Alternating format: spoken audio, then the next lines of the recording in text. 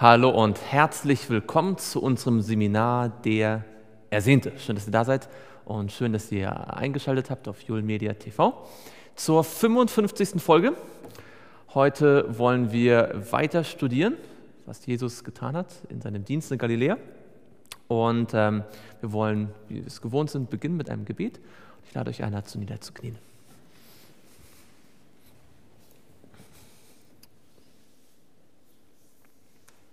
Lieber Vater im Himmel, dankbar kommen wir jetzt zu dir für die Gelegenheit, wieder von dir zu lernen. Wir haben in den letzten Wochen und Monaten so viel aus deinem Wort lernen dürfen. Und wir sind uns sicher, dass du uns auch heute etwas, etwas Kostbares, etwas Wichtiges für uns als Botschaft hast. Wir möchten dich bitten, dass du alles Störende hinweg hältst, dass du in unserem Herzen alles hinwegnimmst, was uns hindern könnte, deinen Segen zu erfahren, dass wir bereit sind, deine Botschaft so aufzunehmen, wie du sie gemeint hast.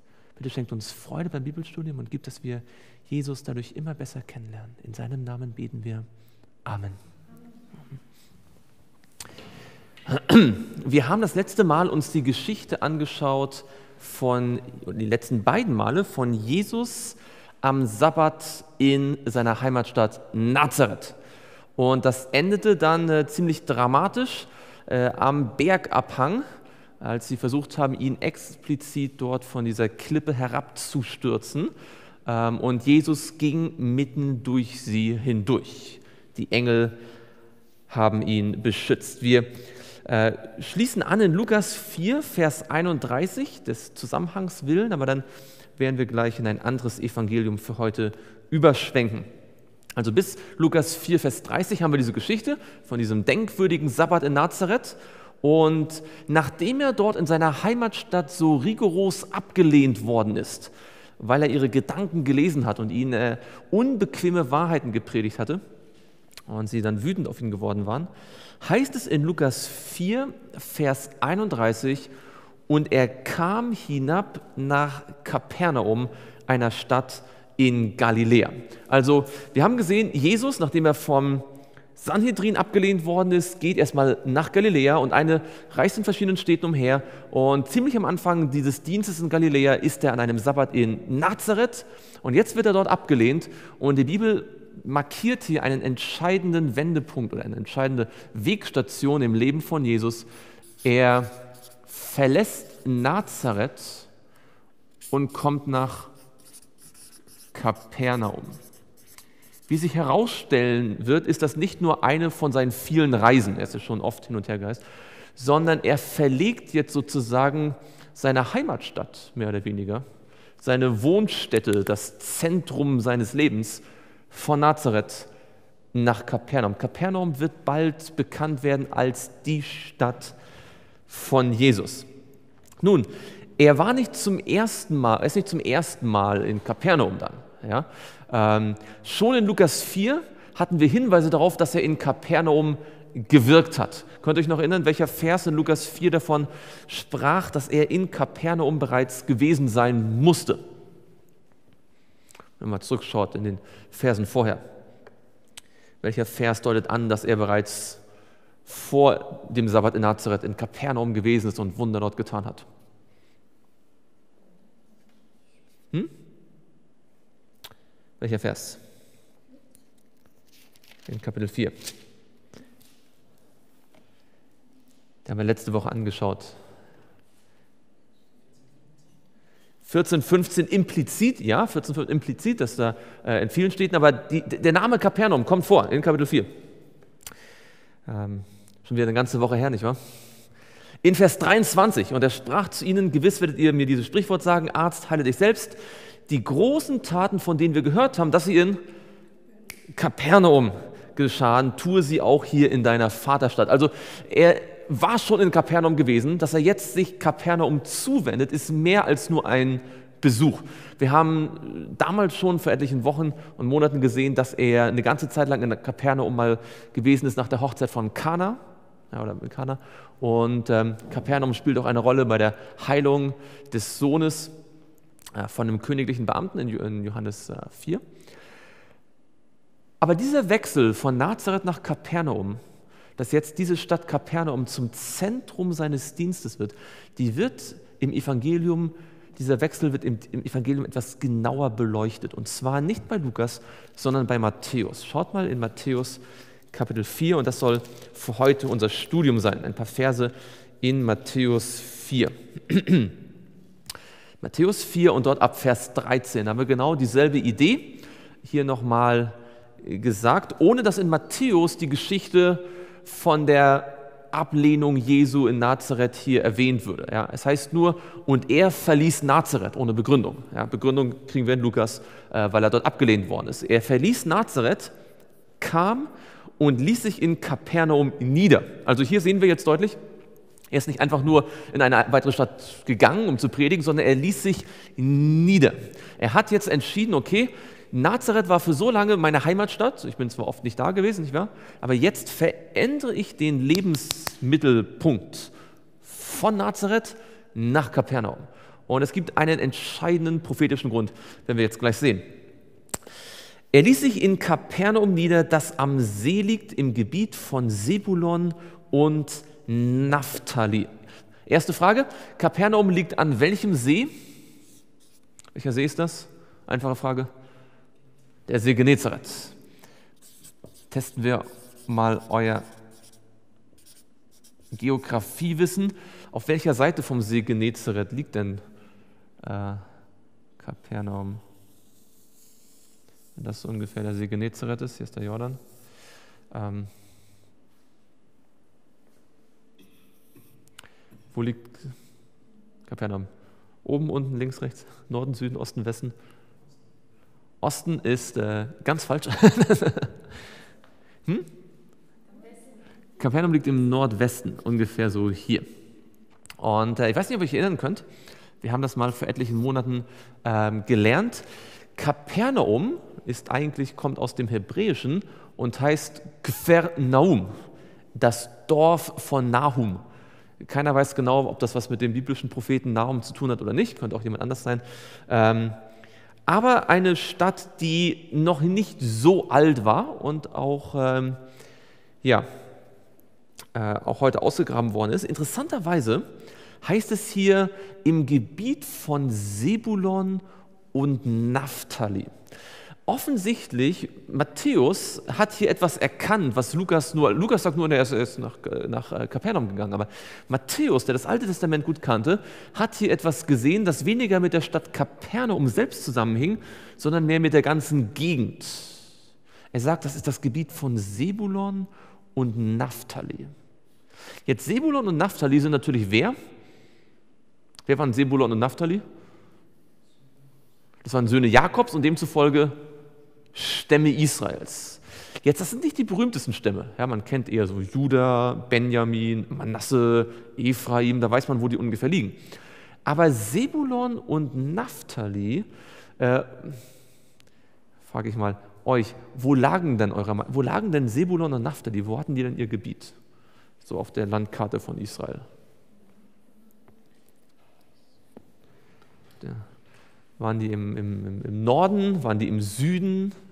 Waren die auf der Seite des Jordan? Waren die an der Küste? Wo waren Sebulon und Naphtali? Denn um die beiden Stämme geht es jetzt. Sebulon und Naphtali, obwohl die Stämme ja gar nicht mehr existieren. Ja? Sebulon und Naphtali. Hat jemand vielleicht sogar eine Karte? Wo waren die ungefähr? Sebulon und Naphtali. Ja, Debulon, also Naphtali war ziemlich genau hier. Ja? Das war das Gebiet von Naphtali. Und Sebulon war hier so ein, so ein kleines Gebiet hier so südwestlich. Ja? Ähm, man kann das nachlesen mit all den Städten, die dazugehörten, in Josua 19. Ja, in Josua 19, da werden die äh, Lose geteilt ja, nach den einzelnen Stämmen und das überspringt man normalerweise, wenn man das Buch Josua liest, weil man denkt, meine Güte, nicht wahr, vollkommen uninteressant, äh, so viele Städte, keiner weiß, wo die sind. Aber für unsere Zwecke halten wir mal fest, Sebulon und Naphtali waren, haben genau dort gesiedelt, wo jetzt Jesus seinen Dienst macht, am See Genezareth. Ja, Im Alten Testament war das meistens nicht so eine besonders wichtige Gegend. Im Alten Testament hat sich viel mehr am Jordan und in, der, in Jezreel, Kamel, äh, Jerusalem, dort unten abgespielt. Ja? Das war quasi so die Nordgrenze von Israel. Das Gebiet von Naphtali und Sebulon. Aber damit hat es jetzt einiges auf sich. Weil der Matthäus sagt, schaut mal in Vers 14, dass dieser Weg, dass diese Entscheidung nach Kapernaum zu gehen und damit jetzt im Gebiet von Naphtali und Sebulon zu wirken, das wäre eine Prophetieerfüllung. Schaut mal Vers 14. Damit erfüllt würde, was durch den Propheten Jesaja gesagt ist. Also Jesus macht einen prophetischen Umzug. er zieht von einer Stadt in die nächste, nicht weil es dort die, die, äh, die, die Miete günstiger ist oder die Verkehrsanbindung, sondern weil es prophetisch vorhergesagt ist. Wie gesagt ist durch den Propheten. Ihr wisst ja, Matthäus hat das, ist das so quasi sein, äh, sein Hobby. Ja? In jeder Geschichte sagt er, wie gesagt ist durch den Propheten. Ja, wie gesagt ist durch den Propheten, wie gesagt ist durch den Propheten. Und er zieht Jesaja, Jeremia und so weiter. Hier sagt er sogar, dass es Jesaja selbst war. Und bevor wir gleich anschauen, ähm, was Jesaja gesagt hat, schauen wir erstmal das Zitat von Matthäus an. Vers 15. Das Land Sebulon und das Land Naphtali. Offensichtlich zur Zeit von Jesus waren natürlich die Stämme so gut wie gar nicht mehr existent, ja, weil die waren schon vorher ins Exil gegangen. Aber man wusste immer noch, wo die Stämme ursprünglich ihre Gebiet, ihr Gebiet gehabt haben und man nannte dann das Land, das Land von Sebulon, das Land Naphtali. Jetzt lesen wir weiter in Vers 15. Das Land Sebulon und das Land Naphtali am Weg des Sees, jenseits des Jordan, das Galiläa der Heiden. Hochinteressanter Vers. Erstmal Frage an euch, warum heißt es dort am Weg des Sees? Das ist doch merkwürdig, oder? Am Weg des Sees. Ich habe das schon so oft gelesen, ich habe mich immer gefragt, was heißt das eigentlich? am Weg des Sees. Heißt das einfach, naja, da ist ein See, da wird wohl auch ein Weg sein? was, könnt, was, was meint ihr? Was, was stellt euch vor unter diesem Begriff? Der Weg des Sees. Die Straße des Sees, ja, die Straße des Meeres. Aha. Tatsächlich gab es eine wichtige Handelsstraße, die genau hier entlang ging. Man spricht heute von der sogenannten Via Maris. Weiß nicht, ob ihr Latein könnt, ich nicht, aber das kann man vielleicht sogar so übersetzen. Via heißt Straße und Maris Meer, genau, die Straße des Meeres. Und das ist eine antike Handelsstraße gewesen, noch lange vor den Römern. Die muss auch andere Namen gehabt haben. Und zwar kam die von Ägypten, vom Nil, über den Gazastreifen die gesamte Küste entlang, also wenn jetzt hier so, so quasi die Küste ist, nicht wahr? Die gesamte Küste entlang, so bis zu den Städten der Phönizier und dann irgendwo hier bog sie quasi in das Festland ein, kam dann quasi, also natürlich mit mehr, ja, mehr Windung, aber so ungefähr, kam dann an der Nordküste vom See Kinneret oder See Genezareth vorbei, am Dorf Kapernaum vorbei und ging dann hier über den Jordan, über die Golanhöhen bis nach Damaskus. Also eine Handelsstraße, die Ägypten mit Syrien verbunden hat. Das war die Handelsstraße schlechthin. Dort in Damaskus gab es einen Anschluss an den, an den, Königsho an den Königsweg. Ja, der ging durch, durch ganz äh, Mesopotamien durch, da konnte man bis nach Babylon. Heute gibt es ein bisschen Diskussion darüber. Die Archäologen streiten sich, ob der ganze Weg Via Maris hieß oder nur das Teilstück zwischen Tyrus, also dem Meer, und äh, Damaskus. Also der Weg des Meeres hat wahrscheinlich weniger zu tun mit dem See als mit dem Mittelmeer. Das war so eine Haupthandelsroute. Jetzt überlegt einmal, warum das so bedeutsam ist. Der Matthäus ist jetzt ja nicht interessiert, uns einfach nur ein bisschen Topografie beizubringen ja, oder, oder Geografie. Warum erwähnt wohl der Matthäus, dass diese Stadt oder schon der, ist ja eigentlich schon ein, ein Jesaja-Zitat, nicht wahr? Warum erwähnen die, dass die Stadt direkt an diesem Weg des Sees, an dieser Haupthandelsstraße lag? Hm?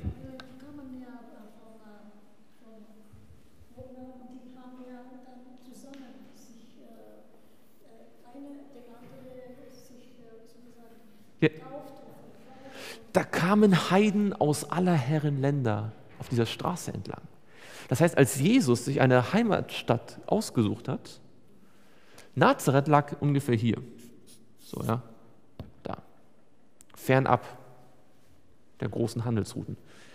Galiläa ist auch relativ groß. Er hätte auch da oder da oder da oder da.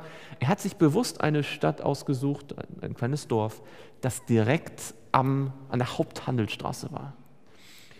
Sein ganzes Ziel war ja von Anfang an, die Heiden zu missionieren, oder? Das Evangelium, das Recht zu den Heiden zu bringen. Dazu wollte er erste Juden gewinnen, um es mit ihnen gemeinsam zu machen. Als sie nicht wollten, hat er gesagt, na okay, dann muss es halt alleine machen. Deswegen hat er sich Galiläa ausgesucht, weil in Galiläa schon mehr Heiden waren als sonst. Ja?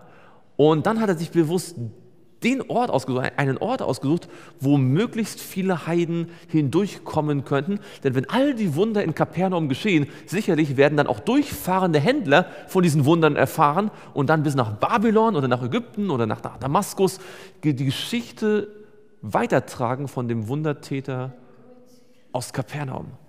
Das heißt, Jesus hat nicht einfach zufällig gehandelt.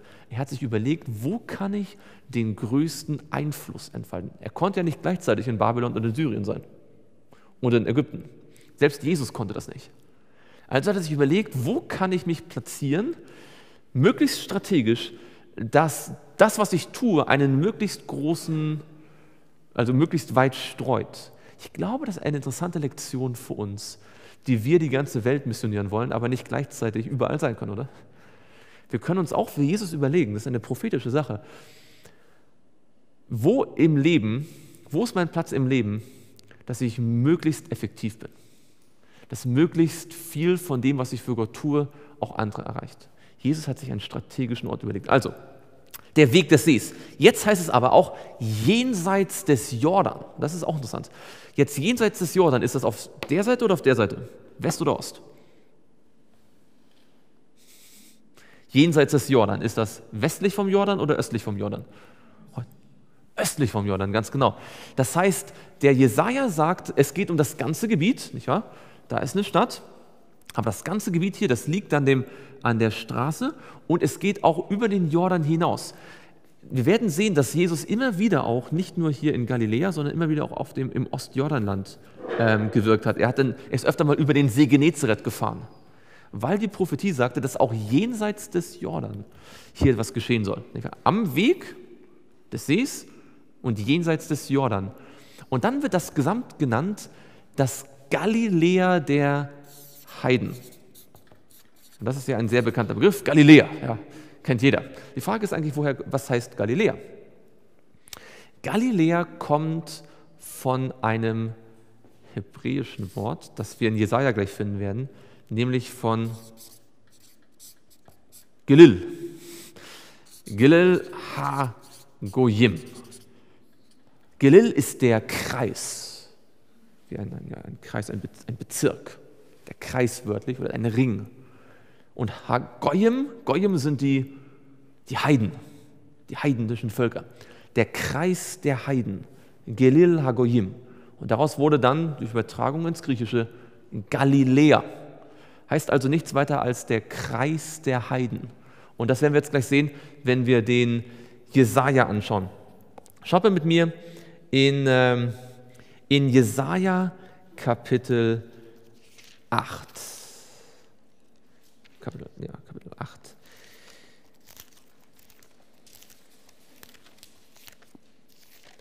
Jesaja Kapitel 8 und dort Vers 23. Jesaja 8, Vers 23. Das heißt es, doch bleibt nicht im Dunkel das Land, das bedrängt ist. Wie er in der ersten Zeit das Land Sebulon, das Land Naphtali gering machte, so wird er in der letzten Zeit den Weg am See zu Ehren bringen. Jenseits des Jordan, das Gebiet der Heiden. Und hier steht genau dasselbe hier steht Gilil Hagim, das Gebiet der Heiden. Das ist das, was dann bei Matthäus übersetzt heißt, das Galiläa der Heiden. Ja? Das ist also direkt dieser Vers jetzt zitiert. Was ich mit euch jetzt machen möchte, der Jesaja sagt, dass äh, dieser Vers aus Jesaja 8, Vers 23, sagt der Matthäus, dass das jetzt eine Erfüllung ist von Jesus. Jetzt schauen wir uns mal den Kontext an von diesem Kapitel, weil normalerweise kennt man nur diesen Vers jetzt, ja, oder den nächsten Vers, wo es heißt, das Volk, das in der Finsternis wandelt, hat ein großes Licht gesehen. Ja. Schaut mal nicht in Jesaja rein. Könnt ihr mir sagen, was im direkten Kontext von diesen beiden Versen in Jesaja behandelt wird? Zufällig?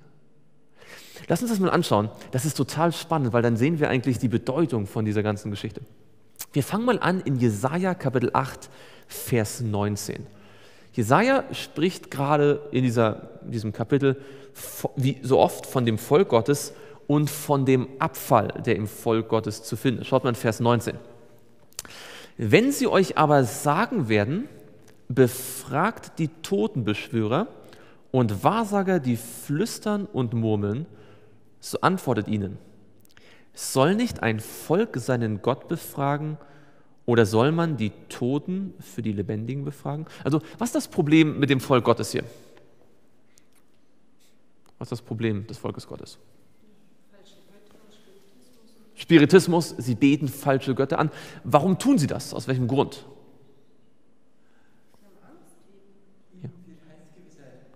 In gewisser Weise vielleicht schon, ja, da hast du recht, aber warum gehen sie zu Wahrsagern? Warum gehen sie, wollen sie von Leuten äh, zu von, warum gehen sie zu Totenbeschwörern und wollen von ihnen was wissen? Was, was ist ihr Wunsch? Warum gehen Menschen zu Wahrsagern und Totenbeschwörern? Ja, Matthias? Ja, sie wollen die Zukunft wissen. Ja, sie wollen wissen, was passiert. Sie wollen wissen, was bringt die Zukunft. Ja, was, was muss ich tun? Was soll ich lassen? Ja, wie, wie geht es weiter mit meinem Leben? Also das Volk Gottes möchte wissen, was bringt die Zukunft, aber sie gehen zu den falschen Quellen. Sie gehen zu denen, die murmeln, nicht wahr? So wie der, ähm, wie der Saul damals zur, zur Witwe von Endor. Und jetzt kommt Vers 20. Im Kontext ähm, dieses, dieser Tatsache, dass das Volk sich bei falschen Quellen ähm, informiert über die Zukunft, da heißt es in Vers 20, den kennt ihr, oder? Zum Gesetz und zum Zeugnis. Und jetzt heißt es, wenn sie nicht so sprechen, gibt es für sie kein Morgenrot. Also die Antwort Gottes ist, woher kriegen wir unsere Kenntnis über die Zukunft? Aus dem Wort Gottes. Das Gesetz und das Zeugnis. Ja, Gesetz meint ja nicht nur zehn Gebote, sondern die ganze Tora, das Wort Gottes, ähm, das Zeugnis, auch das, das, ähm, der Geist der Weissagung, die Prophetie, ja, das Zeugnis Jesu. Ähm, durch das Wort Gottes können wir die Wahrheit und die Zukunft kennen. Was passiert, wenn man das nicht beachtet? Nach dem Vers. Was passiert? Keine Morgenröte. Jetzt, was ist die logische Konsequenz, wenn ich keine Morgenröte sehe? Was, was, was heißt das? Ich bleibe in der Dunkelheit. Gibt es einen anderen Vers in der Bibel, der Prophetie und das Anbrechen des Morgens miteinander verknüpft?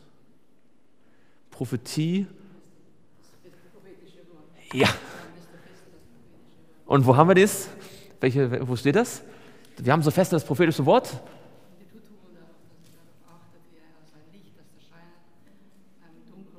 Ja. Ganz genau. Das ist in zwei, ja? 2. Petrus 1, lasst uns da ganz kurz hingehen, lasst mal euren Finger in Jesaja. In 2. Petrus 1, Vers 19. So halten wir nun fest an dem völlig gewissen prophetischen Wort und ihr tut gut daran, darauf zu achten, als auf ein was? Auf ein Licht, das an einem dunklen, merkt euch das, dass es an einem dunklen Ort scheint, bis der Tag anbricht und der Morgenstern aufgeht in euren Herzen. Wer ist dieser Morgenstern? Jesus, woher wissen wir das? Richtige Antwort. Jetzt brauchen wir noch die Begründung. Woher wo sagt uns die Bibel, dass Jesus der Morgenstern ist? Ja, nicht. Ihr könnt immer noch den Finger in Jesaja lassen, Petrus zuschlagen, geht mal zur Offenbarung. Offenbarung 2. Ja, da, es steht so nicht so explizit, da steht, dass, dass er uns den geben wird, aber schaut mal in Vers Offenbarung 22 und äh, dort Vers Vers 16, da ist es ganz eindeutig. Offenbarung 22, Vers 16. Ich, Jesus, habe meinen Engel gesandt, um euch diese Dinge für die Gemeinden zu bezeugen. Ich bin die Wurzel und der Spross Davids, der leuchtende Morgenstern. Also Petrus sagt uns, wenn wir das Wort Gottes, das, die, die Prophetie beachten, dann, dann, dann geht uns, dann ist die Prophetie wie ein Licht in der Dunkelheit, bis der Morgenstern Jesus in unserem Herzen aufgeht. Also die Prophetie ist ein Licht in der Finsternis, das dazu führen soll, dass wir Jesus im Herzen haben. Und genau das ist eigentlich das Gleiche, was Jesaja 8, Vers 20 sagen will. Nicht wahr? Wenn sie nicht sagen zum Gesetz und zum Zeugnis, werden sie keinen Morgenrot erleben. Also das Volk Gottes vernachlässigt das Wort Gottes, studiert nicht die Prophetie und Gott sagt, es wird dann keine, es wird in der Finsternis bleiben. Gehen wir zurück zu Jesaja 8 und schauen wir, wie das weitergeht. Das ist eine ganz faszinierende Prophezeiung. Ich habe noch keine Predigt darüber gehört, ähm, aber im, im, im, im, kompletten Ganzen, wie die hier sich so entfaltet. Äh, aber heute studieren wir das mal. Schauen wir mal in Vers 21. Also Vers 19, das Volk geht zu den Totenbeschwörern. Vers 20, wenn sie das Wort Gottes studieren würden, dann würden sie Morgenrot erleben. Offensichtlich tun sie das nicht, denn in Vers 21 steht, und sie werden bedrückt und hungrig im Land umherschleichen, und wenn sie dann Hunger leiden, werden sie in Zorn geraten und werden ihren König und ihren Gott verfluchen. Also, was haben sie offensichtlich äh, getan? Haben sie das Wort Gottes angenommen? Nein, sie werden unterdrückt. Was ist denn zur Zeit von, wer, wer, wer kam denn zur Zeit von Jesaja, um das Volk zu unterdrücken? Babylon kam dann etwas später, das stimmt, aber zur Zeit von Jesaja waren das die, die Assyrer. Ja, die Assyrer waren zur Zeit von, von Jesaja die vorherrschende Weltmacht, die Babylonier kamen dann später. Aber grundsätzlich gilt, Abfall von Gott, Gott zieht sich zurück, das Volk wird bedrückt. Merkt euch dieses Wort, ja. Sie werden bedrückt, umherschleichen, Hunger leiden, in Zorn geraten, ja. Ähm, und dann schaut Vers 22, wie diese Bedrückung charakterisiert wird. Und wenn ihr das lest, sucht mal nach dem Schlüsselwort oder der Schlüsselidee. Und wenn sie auf die Erde sehen, siehe, so ist da Drangsal und Finsternis, beängstigendes Dunkel, und in dichte Finsternis wird es verstoßen. Was ist die Hauptidee in diesem Vers?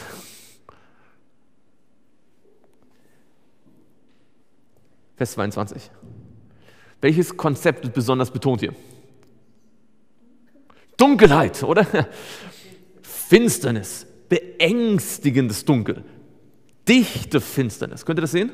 Der Jesaja, der, der betont das ausdrücklich, weil er möchte, dass wir sozusagen Finsternis mit Abfall verbinden. Ja, er sagt, das Volk, das zu den zu den, zu den Götzen geht, das Volk, das zu den Totenbeschwörern geht, das wird keine Morgenröte haben, kein Licht, weil das, die Prophetie bringt Licht, Jesus ist Licht, stattdessen wird es in Finsternis sein, es wird in dichter Finsternis sein, in beängstigendem Dunkel.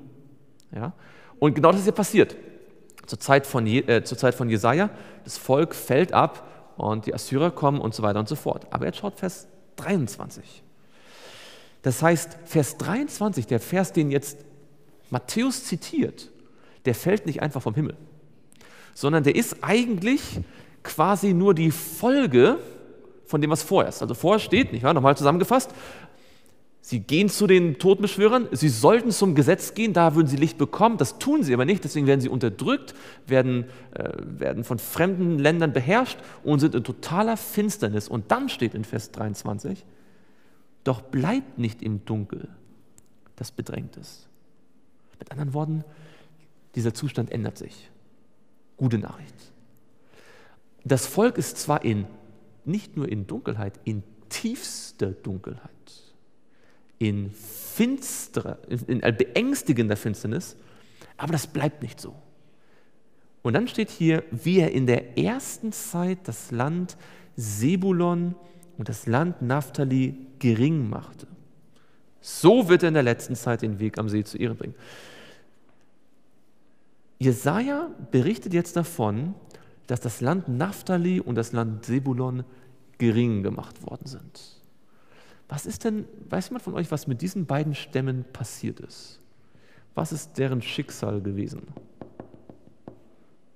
Hat jemand von euch das so im Hinterkopf? Sebulon und Naphtali? Ja? Die wurden weggeführt, ja? Wann?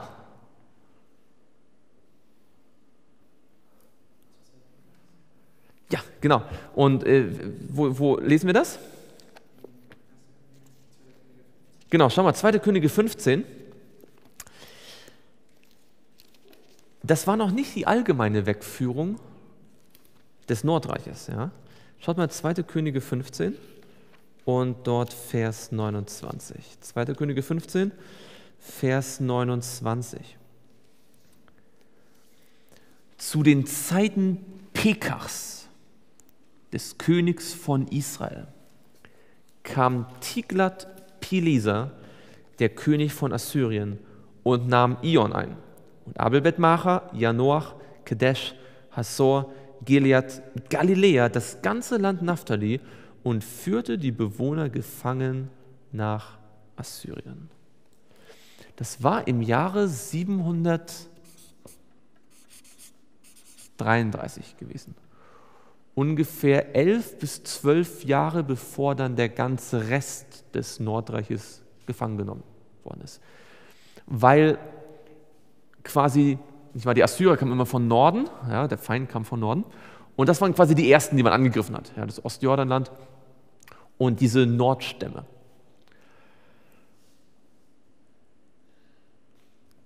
Es waren mit die ersten Stämme, die vollständig verloren gegangen sind vom Volk Israel. Naphtali und Sebulon. Sie wurden gering gemacht 733 vor Christus. Das ist übrigens genau die Zeit, in der Jesaja lebt. Der berichtet also eigentlich von etwas, was in seiner Zeit stattfindet. Man weiß nicht genau, wann er welche Prophezeiung bekommen hat. Ja? Man kann jetzt nicht genau sagen, ob er jetzt das vorhergesagt hat oder ob er das quasi kommentiert, weil das gerade stattfindet oder vor kurzem passiert ist. Aber dieses Ereignis, die Erniedrigung von Naphtali und Sebulon, dass dort die Assyrer kommen, das ganze Land verwüsten und das Nordreich quasi halbieren vom Territorium her, das war etwas, was jeder Israelit zur Zeit von Jesaja wusste. Sie hatten Gott abgelehnt und sie haben jetzt ihr Land für immer verloren gehabt. Tiefste Finsternis. Ja, man hat sie nicht einfach nur bestraft, man hat sie genommen, aus dem gelobten Land herausgerissen und stattdessen zum Teil Heiden angesiedelt. Ja, das war die Politik der Assyrer. Und jetzt lebten da viele Heiden, deswegen nannte man das dann, dann den Bezirk der Heiden. Hier lebten jetzt schon Heiden auf dem gelob, im gelobten Land. Und Jesaja sagt, als das passiert zu der Zeit, das wird nicht für immer so bleiben, sondern genau in dem Land, wo Naphtali und Sebulon, die jetzt diese schwere militärische Niederlage erhalten haben, wo diese beiden Stämme so sehr erniedrigt worden sind, mehr als alle anderen, genau in der Gegend wird Gott etwas besonders Großes tun. Gehen wir zurück zu Jesaja 8.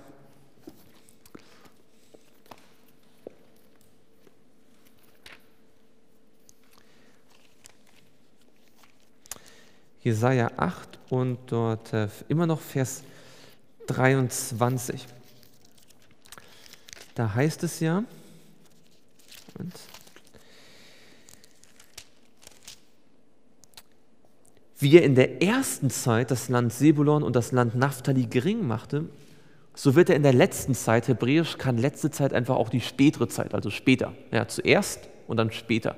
In der späteren Zeit wird er den Weg am See zu Ehren bringen. dieses Wort Ehren bringen kann auch übersetzt werden mit gewichtig machen, herrlich machen, groß machen. Ja? Also eine, eine, eine, eine Herrlichkeit erzeugen.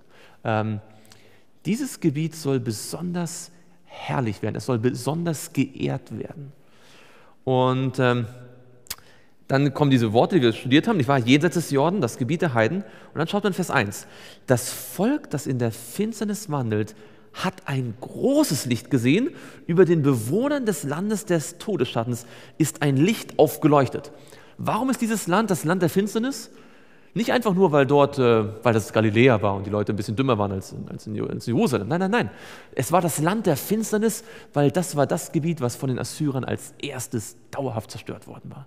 Hier waren zuerst die Heiden. Das war quasi der, das Anfang vom Ende. Ja, es waren die ersten, die so richtig erniedrigt worden sind. Besonders finster. Und genau hier würde ein besonderes Licht leuchten. Dass Jesus also jetzt hier hinzieht, ist die Erfüllung einer jahrhundertealten Prophezeiung, dass Gott sagt, genau dieses verwüstete Gebiet zur Zeit von Pekach soll wieder eine besondere Ehre empfangen. Nun, was interessant ist, ähm, diese Begriffe Finsternis und Licht, wo kommen die zum ersten, also wo kommen die zum ersten Mal in der Bibel vor? Finsternis und Licht. Eine Schöpfung, ja? Ja, wolltest du das auch sagen? Ganz genau. Äh, Jesus sagte dann, ich bin das Licht der Welt. Jeder, der das liest im Hebräischen, auch von den Begriffen Finsternis und dann ein Licht, das ist wie, wie Schöpfung. Ja? Das, die, die, es ist fast so, als ob das Land Naphtali und Sebulon, das ist wie am Anfang der Schöpfung, wüst und leer und finster. Da ist nichts los, ja? beängstigende Finsternis. Der Geist Gottes schwebt. Nicht wahr?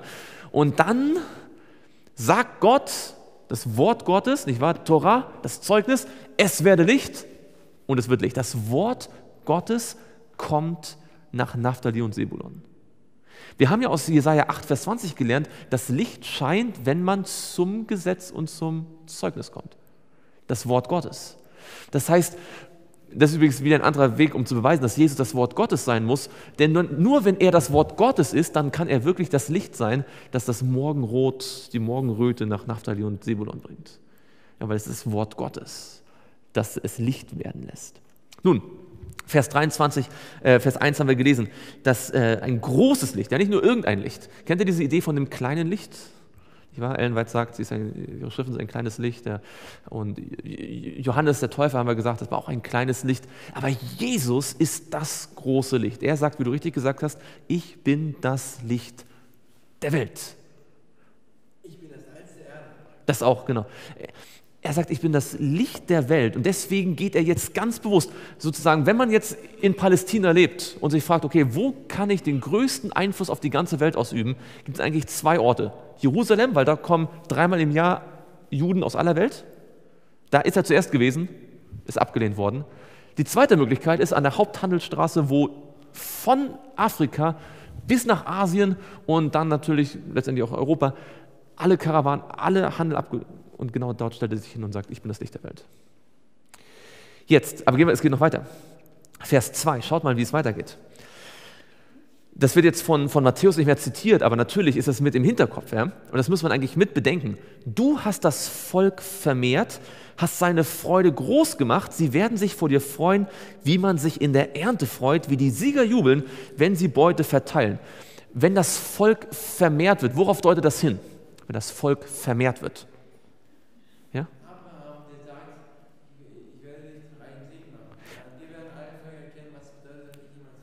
Genau.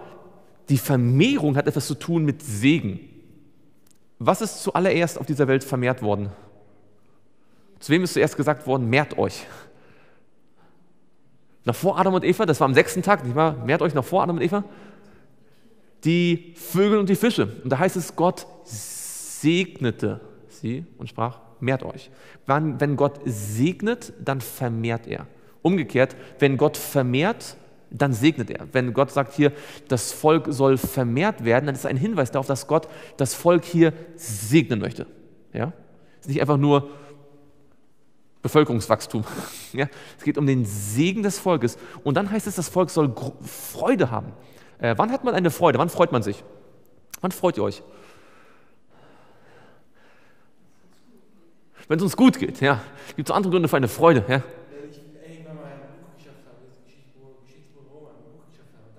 Okay? Was ist ein Grund zur Freude? Wann freut man sich?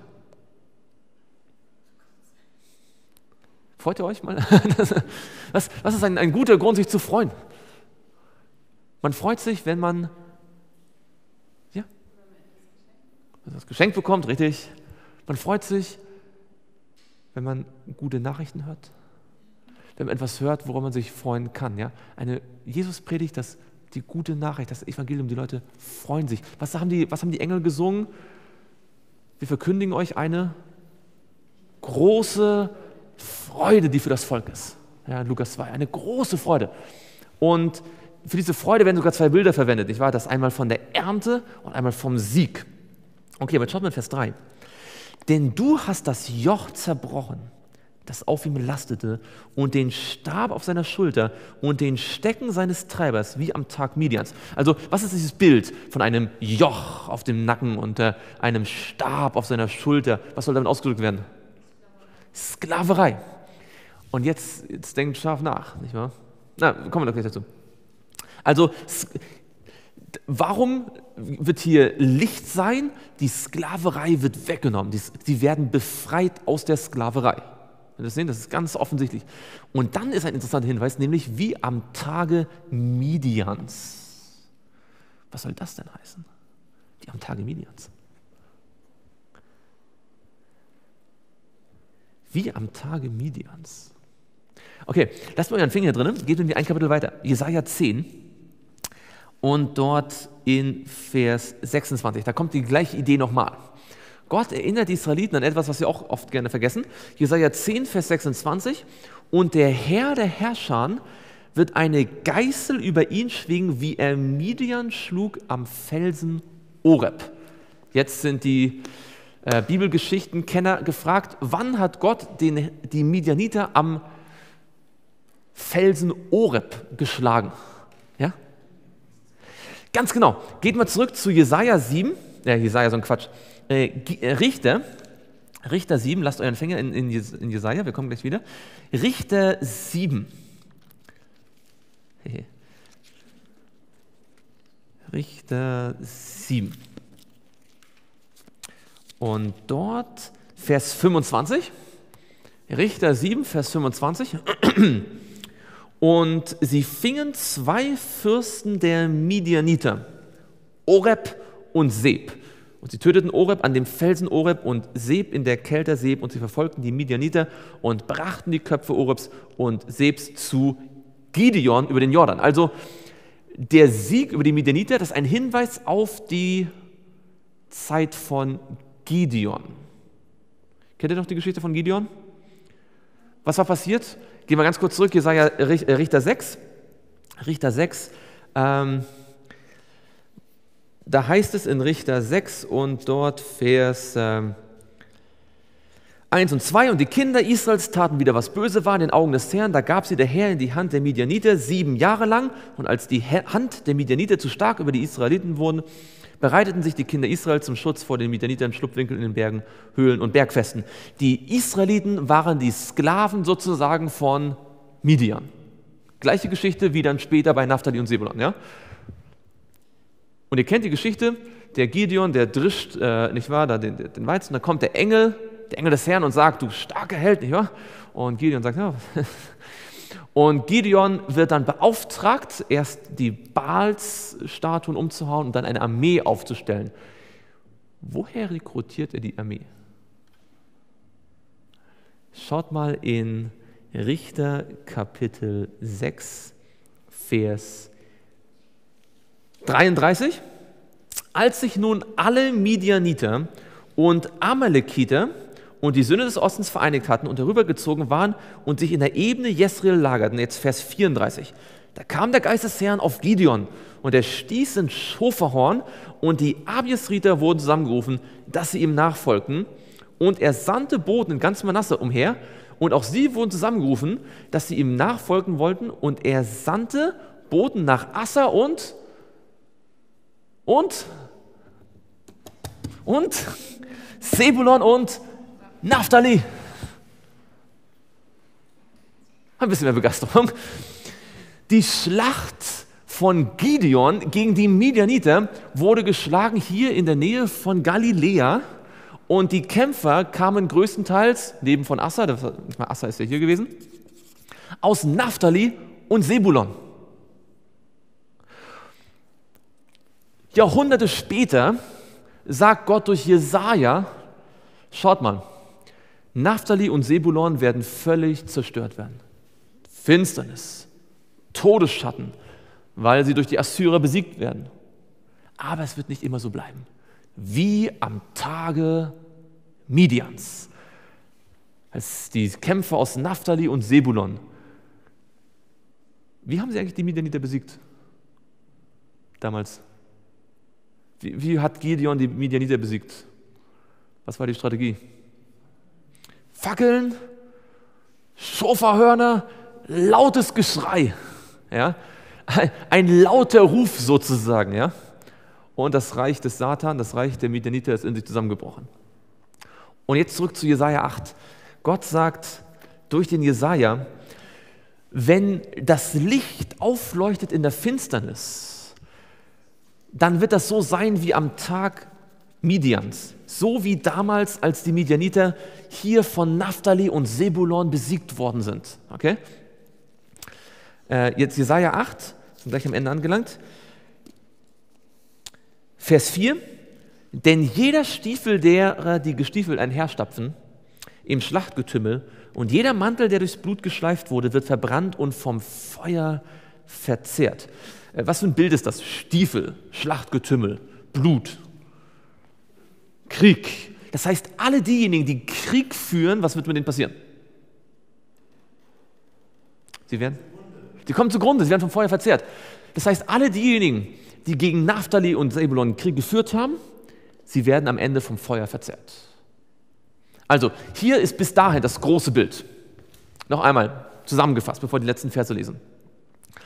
Gott sagt durch Jesaja zu dieser Zeit, zur Zeit vom 733, ihr Israeliten, ihr geht zu den, ihr geht zu den Götzendienern, ihr geht zu den äh, Totenbeschwörern, zu den äh, Wahrsagern, ihr solltet zum Wort Gottes gehen, dann würdet ihr Licht haben. Aber weil ihr nicht zum Wort Gottes geht, deswegen werdet ihr bedrückt von den Assyrern, deswegen seid ihr in der Finsternis, moralisch, körperlich, wie auch immer. Ja, ihr seid in der Finsternis. Finstere Finsternis, beängstigende Finsternis. Aber, Vers 23, es bleibt nicht so. Genauso wie ihr niedrig gemacht werdet, durch den Wegzug unter Tiglat-Pileser, so sollt ihr wieder zu Ehren gebracht werden. Es, ihr sollt wieder herrlich gemacht werden. Denn ein Licht leuchtet auf in der Finsternis das Volk, das im, im Land des Todesschatten liegt, hat ein großes Licht gesehen. Und dann sagt er, ihr werdet gesegnet werden, ihr werdet eine große Freude haben, ihr werdet befreit werden von der Sklaverei. So wie am Tage Midians, als die Bedrücker, die Midianiter besiegt worden sind und alle, die Krieg gegen euch führen, werden vernichtet werden. Könnt ihr euch jetzt vorstellen, warum die Israeliten gedacht haben, dass der Messias die Römer vertreibt? Weil genau die Bildersprache sehr ähnlich ist, nicht wahr? Die Römer kamen, ähnlich wie die Assyrer, haben das Land unterdrückt, haben es versklavt. Wenn man nicht versteht, dass dieser Krieg letztendlich der Krieg gegen die Sünde ist und nicht gegen die Römer, versteht man so ein bisschen, warum die Juden das falsch gelesen haben. Aber jetzt schaut mal, wie der Vers zu Ende geht, oder dieser Abschnitt. Vers 5. Warum gibt es eine gute Nachricht? Warum wird das Licht aufleuchten in der Finsternis in Sebulon oder Naphtali? Vers 5. Den, der Vers ist gut bekannt, wird meistens aber ohne Kontext zitiert. Vers 5. Denn ein Kind ist uns geboren, ein Sohn ist uns gegeben und die Herrschaft ruht auf seiner Schulter. Man nennt seinen Namen wunderbarer Ratgeber, starker Gott, ewig Vater, Friedefürst. Das ist der Messias. Schaut mal, was hier steht, genau. Ein Kind ist uns geboren, die Herrschaft ruht auf seiner Schulter. Was heißt das auf Deutsch? Wenn die Herrschaft auf seiner Schulter ruht. Er ist König. Was heißt das, wenn es heißt hier, er ist ein wunderbarer Ratgeber? Das heißt alles. Was alles?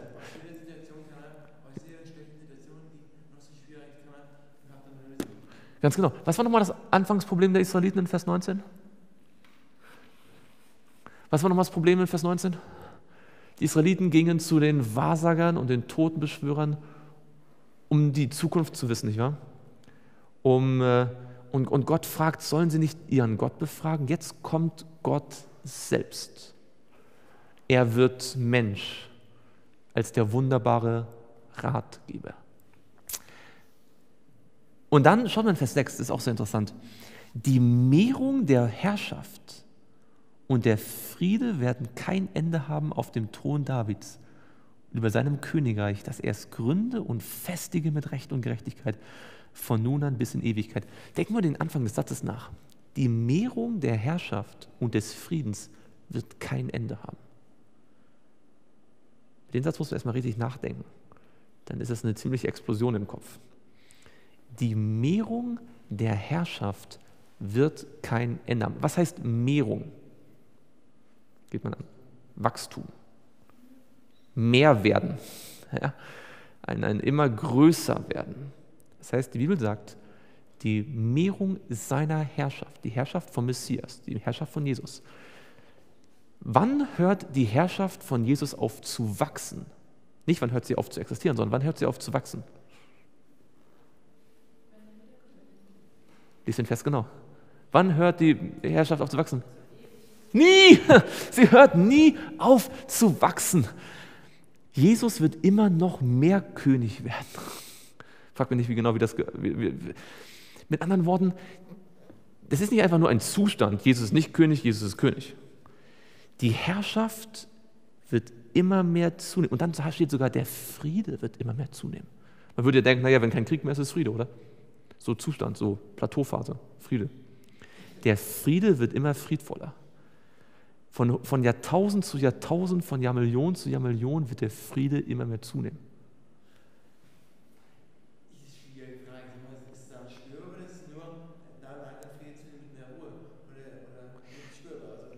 Schau, die Sache ist ja die, Friede ist ja nicht nur die Abwesenheit von Krieg, sondern Friede ist ja auch eine, eine innerliche Erfahrung. Ja? Ein, ein, ein, ein, der Friede mit Gott. Ja, nicht nur ein Gefühl, auch, auch eine, eine, eine Zuversicht, eine, eine Gewissheit. Offensichtlich nicht. Offensichtlich nicht. Schaut, und das ist interessant. Jesus beginnt seine Herrschaft klein und unscheinbar. Er kommt als Friedefürst, als kleines Baby. Ja? Völlig ohne irgendwelche Zurschaustellung. Aber diese Herrschaft würde wachsen und wachsen und wachsen und wachsen und wachsen. Und sie würde ausgerechnet in Naphtali und Sebulon besonders zur Ehre kommen. Das Licht würde dort besonders leuchten. Und jetzt gehen wir zurück zu Matthäus. Und schaut mal, was der Matthäus jetzt macht.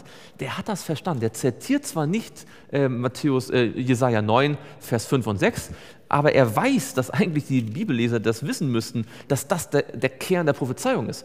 Und jetzt schaut mal, wie schön er das zusammenfügt hier in Matthäus 4. Er sagt ja in Vers 14, äh, Vers 13, er verließ Nazareth, kam und ließ sich in Kapernaum nieder, das am See liegt im Gebiet von Sebulon und Naphtali, damit erfüllt würde, was durch den Propheten Jesaja gesagt ist. Der spricht das Land Sebulon und das Land Naphtali am Weg des Sees jenseits des Jordan, das Galiläa der Heiden, das Volk, das in der Finsternis wohnte, ein großes Licht gesehen und denen, die im Land des Todesschattens wohnten, ist ein Licht aufgegangen. Und was sagt Jesus jetzt? Vers 17. Von da an begann Jesus zu verkündigen und zu sprechen, tut Buße, denn das Reich der Himmel ist nahe herbeigekommen. Was hatte Jesaja 9 gesagt? Wenn das Licht aufgeht, dann deswegen, weil ein Sohn ist uns geboren, auf ihm ruht die Herrschaft und sein Königtum wird fest gegründet sein. Es ist kein Zufall, dass Matthäus diese beiden Dinge miteinander verknüpft. Er zitiert zwar nicht Jesaja, aber indem er Jesus hier sprechen lässt, zeigt er, er versteht, dass diese Prophezeiung sich explizit jetzt hier erfüllt. Ja.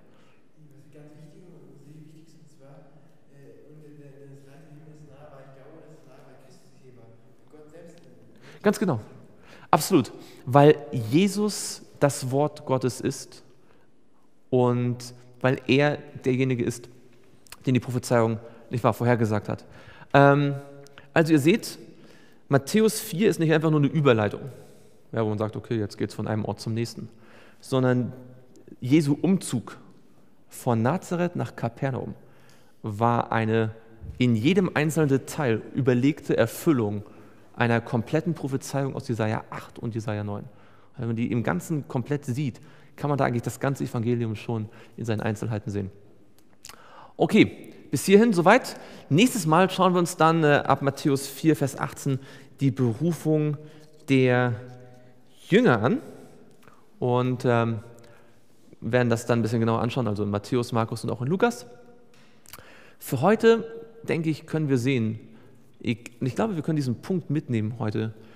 Jesus hat sich strategisch positioniert, um möglichst viele zu erreichen. Und er tat das nicht einfach nur, weil er die, die, die Seeluft mochte, sondern weil, es eine, weil er sein, selbst die Wahl seines Heimatortes auf prophetische Prinzipien stellte.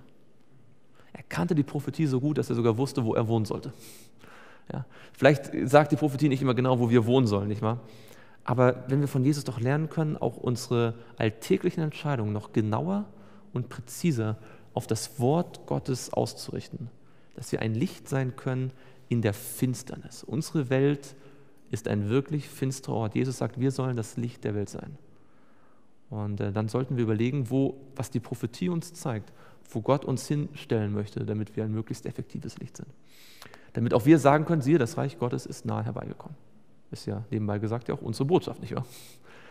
Gut, wollen wir noch gemeinsam beten und dazu niederknien?